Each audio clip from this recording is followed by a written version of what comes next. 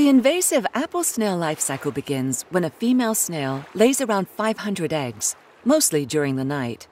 Females usually lay one egg batch with approximately 260 to 1500 eggs, about every fortnight if conditions are favorable. The eggs are laid just above the waterline on emergent surfaces, such as plants or structures like rocks, logs, or walls. The eggs are small and round, only 2 to 3 millimeters. They are bright pink reddish and are easier to spot than the snails themselves. The eggs hatch after 7 to 14 days. The number of days is determined by the temperature. As they get closer to hatching, the eggs start to pale in color. Hatching may be delayed if eggs are temporarily submerged or at a lower temperature. Newly hatched snails are tiny, with shells of approximately 2 millimeters in diameter.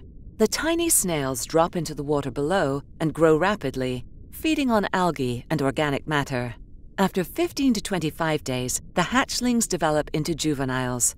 Once their shell reaches 1.5 centimeters in size, the young snails begin to feed on young rice seedlings and other aquatic plants.